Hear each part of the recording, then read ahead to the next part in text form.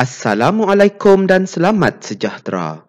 Apa khabar murid-murid? Diharapkan semua murid dalam keadaan sihat sejahtera. Saya, Cikgu Afan akan mengajar kalian subjek bahasa Melayu yang bertajuk Kelab Sahabat Alam. Untuk pengetahuan murid-murid, tajuk Kelab Sahabat Alam ini terdapat pada muka surat 137 dalam buku teks Bahasa Melayu tahun 6. Diharapkan semua murid sudah pun bersedia untuk mengikuti pembelajaran pada hari ini.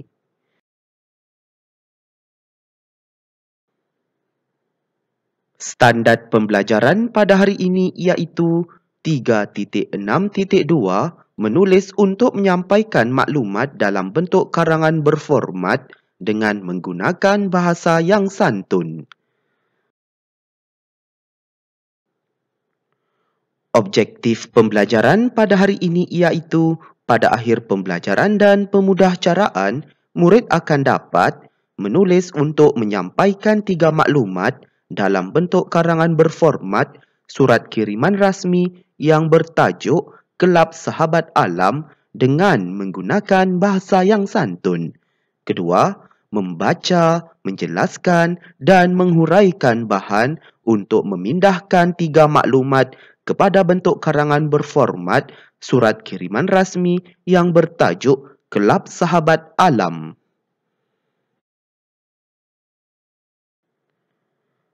Kriteria kejayaan pada hari ini iaitu murid berjaya menulis untuk menyampaikan tiga maklumat dalam bentuk karangan berformat surat kiriman rasmi yang bertajuk Kelab Sahabat Alam dengan menggunakan bahasa yang santun. Kedua, murid berjaya membaca, menjelaskan dan menghuraikan bahan untuk memindahkan tiga maklumat kepada bentuk karangan berformat surat kiriman rasmi yang bertajuk Kelab Sahabat Alam.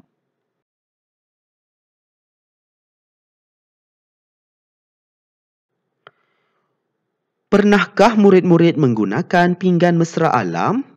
Bagus, tentunya ada murid-murid yang pernah menggunakan pinggan mesra alam dan ia diperbuat daripada tepung ubi kayu. Kita lihat di situ, Cikgu Afan sudah menyatakan gambar ubi kayu dan ubi kayu itu diproses menjadi tepung dan tepung itu diproses kepada pinggan berasaskan ubi kayu. Dan kita lihat di situ adanya contoh ha, ataupun pinggan yang berasaskan ubi kayu dan ia boleh dimakan. Di situlah berdasarkan gambar yang cikgu tunjukkan. Dan kita lihat ciri-ciri ataupun maklumat mengenai pinggan mesra alam dan di sebelah kanan itu Cikgu Afan sudah tunjukkan maklumatnya ia diperbuat daripada 99% tepung ubi kayu. Ha. Yang kedua, ia dihasilkan oleh Nature's Harmony Industry Sendirian Berhad ataupun NHI. Dan pastinya pinggan mangkuk yang berasaskan tepung ubi kayu ini tahan panas sehingga 180 darjah Celsius. Ha, maksudnya tidak mudah rosaklah apabila mencapai suhu 180 darjah Celsius. Seterusnya, ia sangat mesra alam dan mudah diuraikan ataupun mudah dilupuskan. Pastinya boleh dimakan. Diharapkan murid-murid dapatlah memahami serba sedikit mengenai pinggan mesra alam yang berasaskan ubi kayu ini.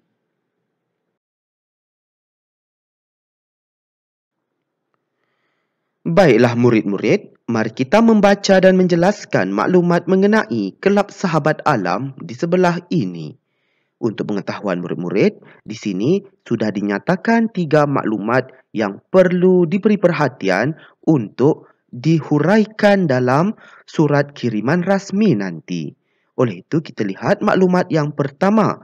Maklumat yang pertama ini merujuk kepada isu ataupun masalah yang berlaku. Jadi di sini kita lihat adanya gambar mengenai majlis keramaian iaitu aktiviti yang melibatkan majlis keramaian seperti kenduri kendara, majlis perkahwinan dan apa-apa sahajalah yang melibatkan orang ramai dan datang ke situ untuk menjamu selera. Dan yang kedua, tidak lupus. Isu yang kedua ini pastinya menyebabkan kerisauan oleh seseorang ataupun mana-mana pihak mengenai penggunaan bahan seperti pinggan ataupun cawan, mangkuk dan apa-apa sahaja penggunaan bahan-bahan yang boleh menyebabkan pencemaran alam sekitar. Dan bahan-bahan tersebut pastinya dibuat daripada plastik dan ia tidak lupus dengan mudah kerana mengambil masa yang lama. Dan isu yang ketiga, bahan-bahan seperti pinggan mangkuk, cawan yang diperbuat daripada plastik ini dibuang secara merata-rata dan pastinya akan menyebabkan pencemaran alam sekitar. Kita lihat maklumat yang kedua di tengah itu merujuk kepada keputusan mesyuarat Kelab Sahabat Alam Taman Kuala Ketil dan di sini murid-murid bolehlah pilih kalaulah murid-murid mahu menjadikan tempat murid-murid sebagai tempat untuk penubuhan kelab sahabat alam. Contohnya kalau murid tinggal di kampung, kampung Sungai Dedalu. Jadi murid boleh menyatakan kelab sahabat alam kampung Sungai Dedalu ataupun murid-murid tinggal di taman perumahan, Taman Seri Muara. Jadi murid boleh gantikan dengan kelab sahabat Taman Seri Muara. Ha. Dan kita lihat apakah keputusan mesyuarat dalam kelab tersebut. Kita lihat di sini ada tiga perkara yang dibincangkan ataupun diputuskan dalam mesyuarat tersebut. Kita lihat yang pertama di situ, ahli kelab tersebut membuat keputusan menolak penggunaan beg plastik dan produk berasaskan polistirena. Maksudnya mereka tidak mahu masyarakat ataupun penduduk kampung ataupun taman menggunakan beg plastik ataupun mana-mana produk berasaskan polistirena. Kita lihat maklumat yang kedua. Ahli kelab tersebut bekerjasama memantau tahap pencemaran alam. Ha, di sini mereka mahu bersama-samalah untuk memeriksa dan melihat tahap kebersihan di kawasan perumahan mereka lah. Ha, dan yang ketiga, mereka mahu menggunakan pinggan mangkuk berasaskan ubi kayu dan hampas tebu untuk sesuatu majlis jamuan. Dan kita lihat maklumat yang ketiga. Apakah kelebihan ataupun manfaat apabila adanya penggunaan produk seperti pinggan mangkuk yang berasaskan ubi kayu dan hampas tebu. Ha, di sini kita lihat contohnya yang pertama produk tersebut boleh dimakan ha, dan pastinya tidak membahayakan kesihatan manusia. Yang kedua, boleh dibuang. Maksudnya bolehlah dibuang kerana ia dapat diuraikan dengan lebih cepat Ha. Dan yang ketiga, produk seperti pinggan mangkuk yang diperbuat daripada ubi kayu dan juga hampas tebu ini akan lupus dengan lebih mudah. Diharapkan murid-murid dapatlah memahami serba sedikit mengenai kelab sahabat alam ini dengan sebaiknya.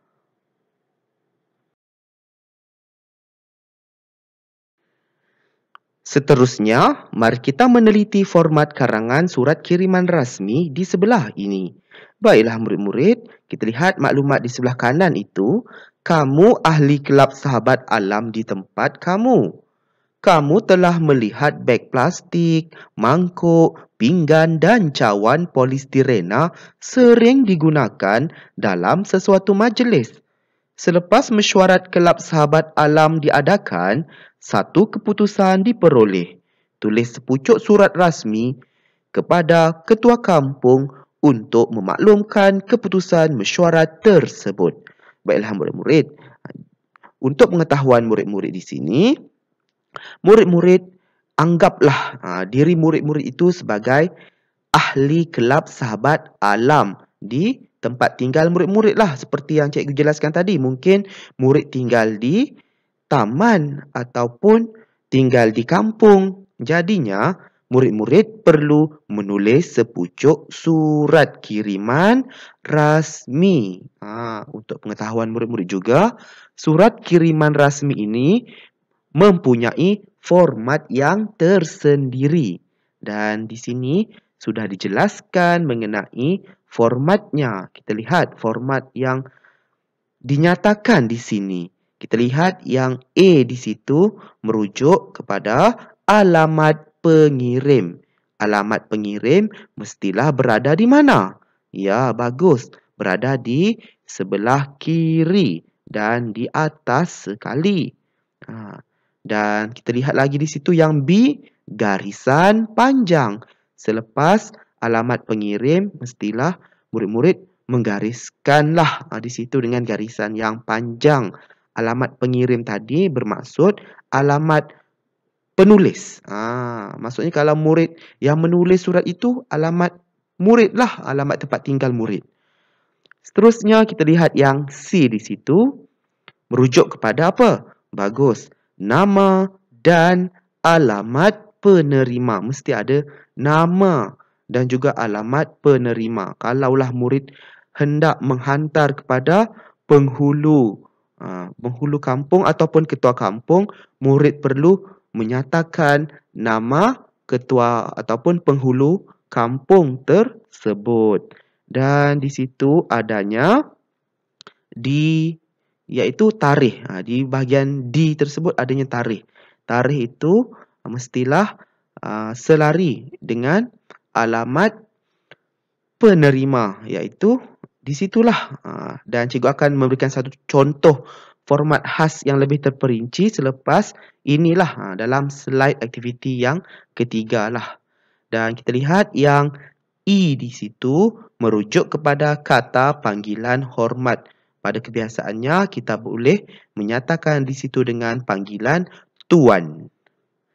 Seterusnya kita lihat lagi di situ F perkara ataupun tajuk. Ha, tajuk surat tersebut perlulah dinyatakan dengan jelas di situ. Seterusnya kita lihat bahagian G iaitu pendahuluan. Ingat ya, dalam mana-mana surat pun ataupun karangan mestilah adanya pendahuluan. Dan kita lihat di situ dimulakan dengan nombor 2 ha, iaitu bahagian H ha, isi iaitu nombor 2 dan nombor 3 merupakan maklumat isi. Ha, maklumat yang murid-murid perlu tulis di sini iaitu maklumat 1, 2 dan 3 yang telah cikgu jelaskan tadi ya. Ha, yang melibatkan isu dan keputusan mesyuarat dan juga iaitu kebaikan ataupun manfaat daripada penggunaan pinggan mangkuk berasaskan ubi kayu ataupun hampas tebu tadi. Dan di situ bahagian I iaitu penutup. Ha, mestilah ada penutup. Dan dinyatakan di situ sekian terima kasih yang benar iaitu J merujuk kepada tanda tangan penulis surat tersebut. Dan K adanya kurungan di situ Ha, perlunya ada nama penulis surat iaitu nama pengirim. Semua huruf besar. Ingat ya, mestilah tulis dengan huruf besar nama tersebut. Dan di bawah nama pengirim ataupun penulis surat tersebut mestilah disertakan dengan jawab jawatannya. Diharapkan murid-murid dapatlah memahami maklumat mengenai format surat rasmi ini dengan sebaiknya.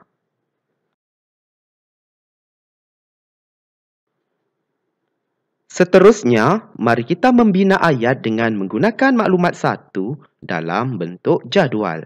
Kita lihat di sini ya, maklumat satu ini merujuk kepada isu ataupun masalah yang timbul ataupun yang berlaku uh, yang menyebabkan kelab sahabat alam ini mahu menulis surat. Uh, kita lihat di sini maklumat yang pertama merujuk kepada majlis keramaian.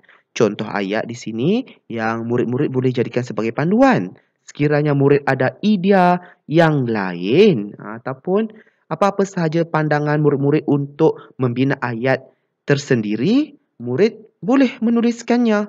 Ha, diharapkan murid-murid tidaklah terpesong jauh ataupun tidak jauh daripada maklumat yang dinyatakan di situ. Kita lihat contoh ayatnya.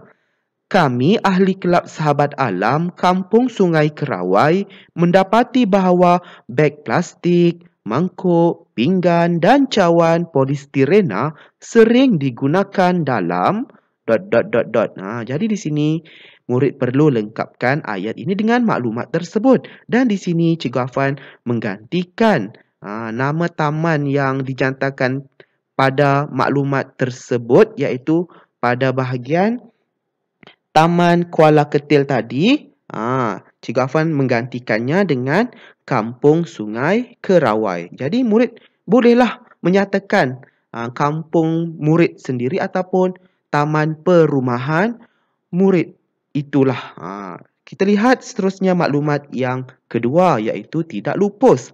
Contoh ayat, bahan-bahan tersebut dot dot dot dot dengan mudah kerana memerlukan masa yang lama untuk dilupuskan. Jadi murid lengkapkanlah ayat ini ya dengan menggunakan maklumat yang telah dinyatakan di situ. Dan maklumat yang ketiga iaitu dibuang. Contoh ayat, ia akan dot dot dot dot di merata-rata tempat hingga menyebabkan pencemaran alam sekitar. Jadi murid lengkapkanlah ya ayat ini dengan menggunakan maklumat tersebut. Untuk pengetahuan murid-murid, ketiga-tiga ayat ini perlulah dijadikan dalam bentuk perenggan nanti dalam penulisan surat kiriman rasmi nanti.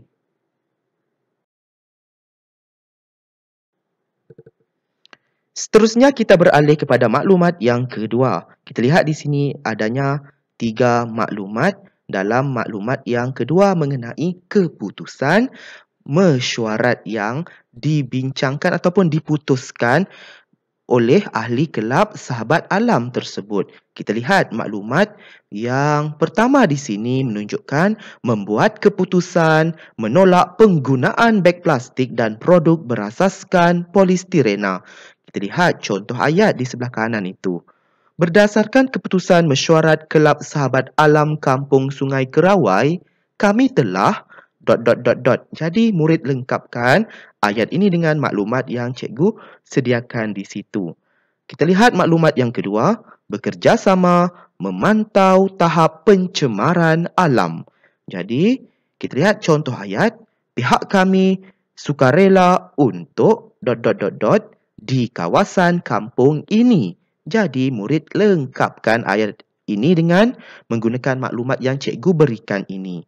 Seterusnya maklumat yang ketiga, menggunakan pinggan mangkuk berasaskan ubi kayu dan hampas tebu untuk sesuatu majlis jamuan. Dan kita lihat contoh ayat di sebelah kanan itu, kami juga mengesyorkan agar semua pihak dot dot dot dot yang dilaksanakan. Jadi di sini murid lengkapkan sahaja ayat tersebut dengan maklumat yang cikgu berikan. Sekiranya murid ada idea ataupun ayat sendiri yang bersesuaian dengan maklumat tersebut, silakan murid boleh gunakan ayat murid-murid sendirilah. Ha, dan untuk pengetahuan murid-murid, ketiga-tiga ayat ini hendaklah dijadikan dalam sebuah perenggan dalam penulisan surat kiriman rasmi nanti. Baiklah murid-murid, sekarang kita beralih kepada gambar yang ketiga ataupun maklumat yang ketiga. Maklumat yang ketiga ini membincangkan mengenai manfaat ataupun kebaikan penggunaan pinggan mangkuk berasaskan ubi kayu ataupun hampas tebu. Dan kita lihat di sini maklumat yang telah disediakan iaitu boleh dimakan. Contoh ayat, oleh itu kami berharap semua penduduk yang mahu mengadakan sebarang majlis keramaian perlulah menggunakan pinggan mangkuk berasaskan ubi kayu dan hampas tebu kerana tidak mencemarkan alam sekitar dan dot dot dot dot. Ha, jadi murid lengkapkanlah ya ayat ini dengan menggunakan maklumat tersebut. Kita lihat maklumat yang kedua iaitu boleh dibuang. Contoh ayat ia dot dot dot dot dengan mudah kerana boleh diuraikan dengan lebih cepat. Jadi murid lengkapkan ayat ini dengan menggunakan maklumat tersebut. Dan kita lihat maklumat yang terakhir iaitu akan lupus. Contoh ayat, oleh itu, pinggan mangkuk berasaskan ubi kayu dan hampas tebu ini dot dot dot dot dengan mudah. Dan murid lengkapkan jugalah ayat ini dengan menggunakan maklumat tersebut. Dan untuk pengetahuan murid-murid, ketiga-tiga ayat ini akan dijadikan dalam sebuah perenggan dalam penulisan surat kiriman rasmi nanti.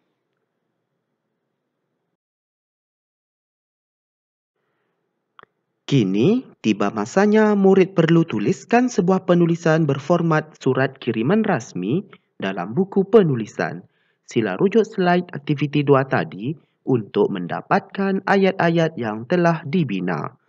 Baiklah murid-murid, untuk tugasan aktiviti yang ketiga ini, Cikgu Afan sudah pun membantu murid-murid dengan memberikan panduan khas untuk menulis surat kiriman rasmi. Dan di sini murid-murid diminta untuk menulis surat kiriman rasmi. Dan di sini juga Cikgu Afan sudah memberi maklumat seperti alamat pengirim. Sekiranya murid ingin menggantikan alamat pengirim ataupun penulis ataupun murid sendiri mahu menggunakan alamat rumah murid, ha, dipersilakan. Tiada sebarang masalah. Dan kita lihat di situ alamat penerima. Cikgu Afan sudah nyatakan di situ alamat penerima. Kalaulah murid ingin menggantikan alamat penerima itu ha, dengan alamat penerima yang murid inginkan, ha, jadi silakan boleh gantikanlah mengikut kemahuan murid-murid. Dan di situ juga terdapatnya tarikh dan kata panggilan hormat tuan tajuk uh, cikgu Afan sudah nyatakan di situ pemakluman keputusan mesyuarat kelab sahabat alam dan di situ adanya pendahuluan dan murid-murid diminta untuk menulis ataupun melengkapkan isi satu murid perlu merujuk semula maklumat yang pertama tadi iaitu mengenai isu ataupun masalah yang timbul dan isi yang kedua ataupun maklumat yang kedua murid perlu siapkan juga dengan merujuk slide aktiviti dua tadi dan isi yang ketiga ataupun maklumat yang ketiga di situ, murid perlu juga melengkapkan perenggan tersebut. Murid perlu merujuk semula slide aktiviti dua tadi.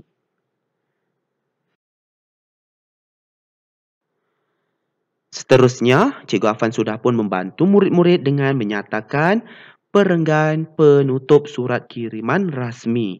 Di sini juga adanya ucapan sekian terima kasih di bawah sekian terima kasih itu terdapat yang benar dan di bawahnya perlu ada tanda tangan. Jadi murid perlu tanda tanganlah uh, surat kiriman rasmi tersebut dan di bawah tanda tangan itu adanya nama pengirim ataupun nama penulis. Ingat ya, nama penulis perlulah ditulis dengan huruf besar. Dan di bawahnya itu adanya jawatan bagi penulis surat tersebut. Diharapkan murid-murid dapatlah menyiapkan tugasan ini dengan sebaiknya. Selamat berjaya ya murid-murid. Semoga kita bertemu lagi dalam pembelajaran dan pemudah caraan pada hari yang lain. Sekian, terima kasih.